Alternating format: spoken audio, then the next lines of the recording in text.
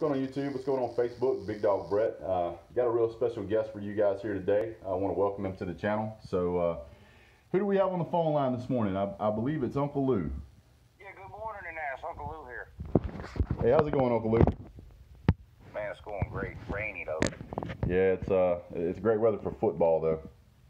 Hey, uh, today we were going to be going over and covering the uh, the Legends versus the the Fleet game like we do every week. Um, wanted to talk about the the differences between last week's game and this week's game, and, and what you think about the the quarterback situation to start with. So Well, I think Aaron Murray should have been given the start at least one week sooner. Um, well, hell, he didn't even get to start last week. It was an injury, but to me, he should have been given the start in week three, that first home game. Um, now, I, I, and it's not. I get it. Okay, obviously he's crowd favorite. He went to Georgia, Atlanta. You know the, the legends are in Atlanta, so obviously he's the crowd favorite. But it, it's more than that. I mean, first two weeks the offense was just absolutely pitiful. Um, I mean, it's not like we were losing games forty to thirty-five, or you know, you know, or, or, or whatever. You get it.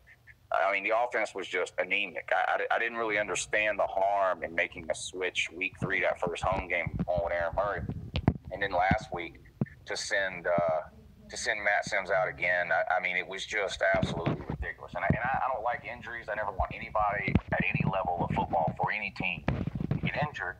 Um, but you know, it's it's hard to deny the the offense just seemed to to click better with Aaron Murray in there. So, um, you know, thank God they're giving him the start this week, and um, and we'll see how it goes. Well, I, I was pretty sure that, that Kevin Coyle was probably told by numerous fans that if he did not want to riot, that he probably should put Aaron Murray in. Um, Yeah, and Kevin Coyle, I mean, that's a whole other situation. This guy's in way over his head. He never should have been given. I mean, I get it's the AAF, it's a starter league and all that. But you give, I mean, this guy's never been a head coach. It, it, it just made no sense. He never, he's in over head. He should, he shouldn't have been made head coach of that team to start with. And I know there was some problems, um, or some disruptions or whatever leading up to the start of the season. You lose your offensive coordinator, new one comes in. That, that's going to affect an offense. I get it, but um, I mean, Matt Simms had what two offensive touchdowns in the first three games. I mean, that's just pitiful. Yeah, and I mean, and here's the other thing is that I, I do understand that the teams were were trying to find a rhythm, but it's not like it was an uneven playing field. All the teams were trying to find their rhythm, and because of that, there should have been at least um, uh, at least a little more activity on offense. Matt Simms never. I said, you know, the first game I felt like okay, you know, he's got to get comfortable. Of course, I wanted Aaron Murray in. I, I'm wearing my autographed Aaron Murray hat. I mean, he, I've always been a fan of Aaron Murray. Um, it, it just seemed to me that after the second game, when you saw that Matt Simms couldn't get the offense moving, he was he's been sacked ten times. He's just not comfortable in the pocket. He just he didn't belong there, and and I and I think it shows. I think everybody can see maybe now why Matt Simms is not pro.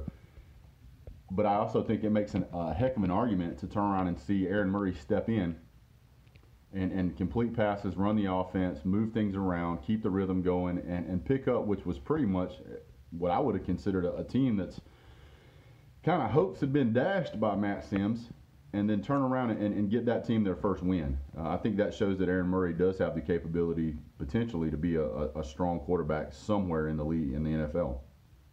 Well, and and you mentioned the sacks that Matt Simms took, and, and obviously the Legends have one of the worst offensive lines in the AAF.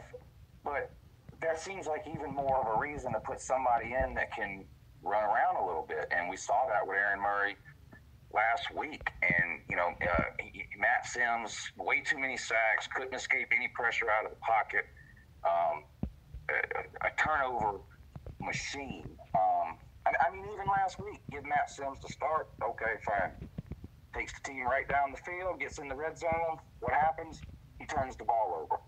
Um, it, it- and it was just getting to be way too much of that. Um, he had two touchdowns and six interceptions in the first three, in his first three games. I mean, that, that's just Well, there's there's college not to quarterbacks. make a change. You're 0 3. Your Yep. offense is the worst in the league. The quarterback leads the league in interceptions. Um, there's only eight in the AAF. Matt Simms was ninth completion percentage. So somebody's got two quarterbacks that are better than Matt Simms. I mean, it just wasn't making any sense. So you know, it was it was time to give Aaron Murray a, a, a shot, and uh, and this will be a big game this week against um, Memphis because they're not that good either. And of course, they made a change at quarterback too. So we're going to get to see uh, Aaron Murray versus Mettenberger part two. Yeah. Tomorrow. Now, now Zach Mettenberger, he played at LSU, and uh, and I don't believe that worked out to, to his benefit the last time he played against Aaron Murray, did it? You there? Yeah, can you hear me? Oh, hold on. Yeah, I can hear you. Sorry about that. I accidentally uh, hit the hit the mute button on my end, but I can Oh, hear you. I can hear you just fine. Rookie Yeah. So I mean, that'll be a good game tomorrow. I, I, I mean, that Aaron Murray's that Met, uh, Mettenberger game from back in uh, what was it 2013? Yeah, I believe so. Uh, I think it was that Georgia LSU game in Athens. I mean, that, that's one of the most exciting games that's been played in Athens in probably the last 30 years. A back and forth game. We ended up, uh, I, I don't remember the exact score, but it was something like 42 to 38 or, or something. One of those high scoring back and forth games, and um, and, and we scored it in to win it. But um, we'll see how they look tomorrow. Well, I'm I'm excited about it. Um, to me, I know that Aaron Murray has the capability of run that offense. I and I always kind of get into the thought process in the locker room. Most of the time, I get it right. Got it wildly wrong against Texas, but I think that, that this team is gonna. I think that the legends are going to be on the upswing. I think they're going to be highly motivated. I think they're going to see that spark of hope that Aaron Murray was able to bring to the team, and you're going to see him push even harder. That, and that's just my opinion. Hey, you, you're not the only one that thinks that Atlanta was a 15 point underdog last week. Wow. um, with Matt Simms as the starter. They're a two and a half point favorite this week, and, and I get it. Memphis, like I like I mentioned, um, not a very good team. I mean, they, they they lost their first three games too before winning last week, same as Atlanta. And of course, this game is in it in Atlanta, so that makes a little bit of a difference. But to go from a 15 point underdog one week to a two and a half point favorite following week tells me um, that just like what you just said, there, there's a lot of people who who think that the Legends are going to be better offensively with Aaron Murray. Yeah, and uh, uh, Aaron Murray, it looked like he's, uh, it, you know, going back and now that I've thought about it a little bit, going back and, and looking at how Aaron Murray was standing on the sideline, I thought that he was upset, which he probably was. But I also think that he was sitting there going, go ahead and make a mistake that they let them put me in. Let them put me in. And I, this is going to be my job. And so Right. it showed me that at game four, he had taken all of the practice seriously. He had taken all of the opportunity he had ahead of him very seriously, and he wanted to take full advantage of um, the opportunity that they gave him to to, to go out and, and make that team his, and that's what he did. So hats off to Aaron Murray for that. And let's let's be honest before we sound like complete potatoes here. It, it, it's not like Atlanta went out and scored 100 points last week with Aaron Murray. Right.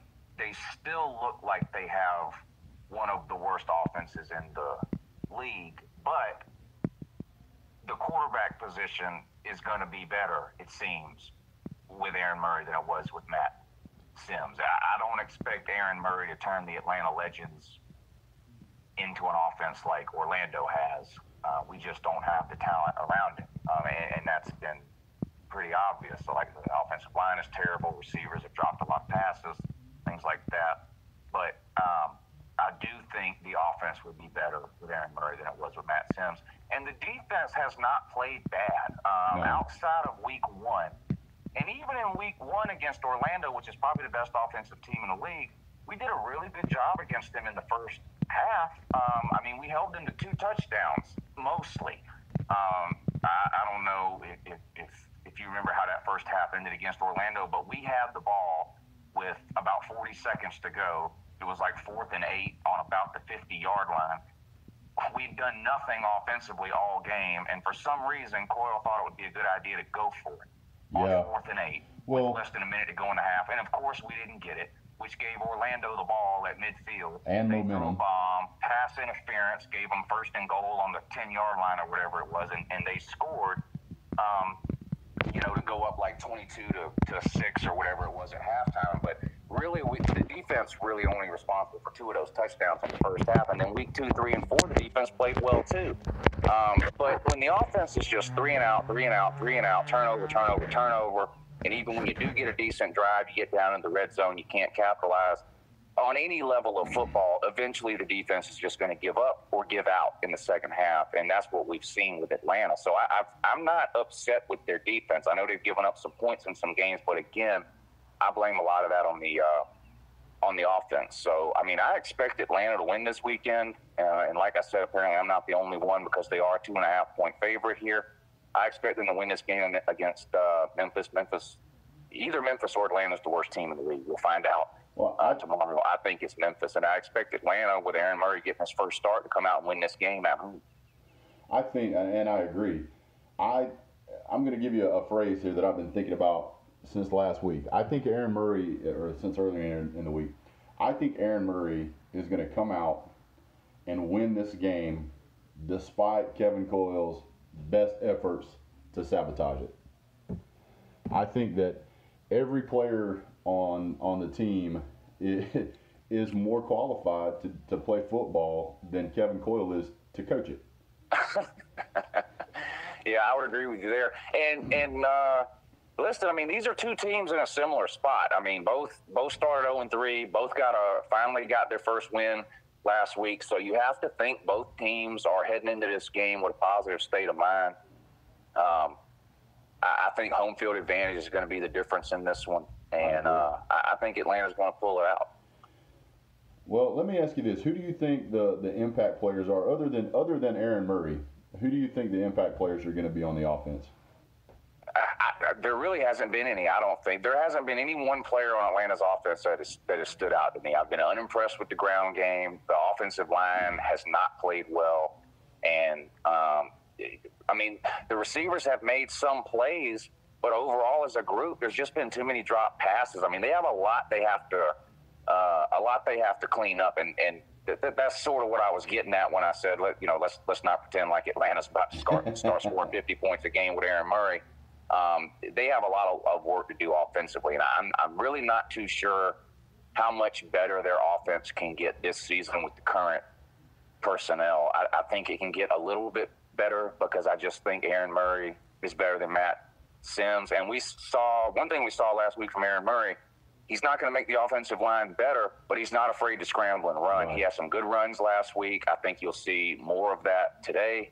Um, well, I think. I mean, I, I know the key, nobody wants to get hurt, and I get that, but I mean, this is the last chance for a lot of these players. I mean, there's not really any reason to save anything.